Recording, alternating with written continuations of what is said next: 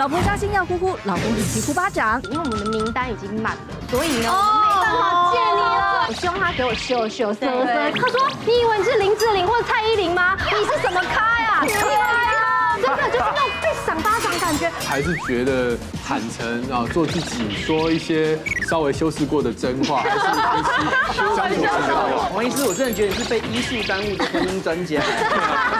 今天晚间九点，妈妈好神，东森超市三三频道。